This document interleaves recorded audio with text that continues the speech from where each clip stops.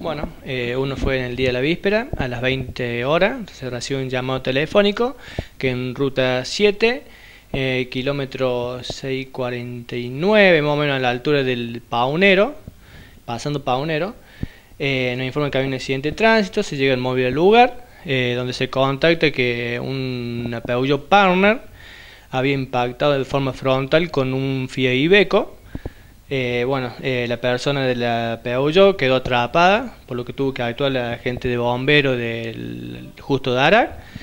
Eh, bueno, se la llevó inmediatamente una vez que la liberaron al hospital de Justo Darac, una, por una cuestión de, ¿no es que más cerca. bueno, cuando llega al hospital, esta persona lamentablemente fallece, y decir, ingresa sin vida al hospital.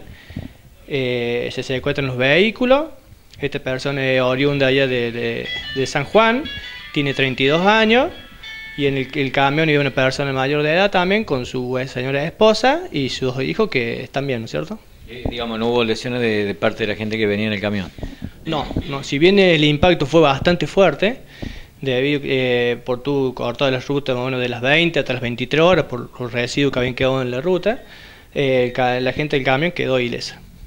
Walter, bueno, eh, también sobre este tema, eh, ya asiduamente se están ocurriendo accidentes, generalmente siempre casi en el mismo kilometraje de la ruta. Sí, eh, hace larga data que me animo diciendo el porqué, la razón, hay varias hipótesis, por el cansancio, siempre en el mismo kilómetro, ¿no es cierto? Estamos viendo que es la mitad del kilometraje entre Buenos Aires y Mendoza, que posiblemente es eso. Eh, no se sabe bien si es exacta cuál es la razón, ¿no es cierto? Pero sí, eh, pero a diferencia de otros años, este año hemos tenido menor cantidad de accidentes, ¿no es cierto? Eh, yo veía que otros años ha habido muchos más accidentes y este año este el segundo, el tercer accidente que hemos tenido así grave. Oficial, ¿este hombre fallecido está en la morgue de Justo Barat? No, está en el hospital local porque a la tarde va a venir la pariente de esta persona que falleció para retirar el cuerpo.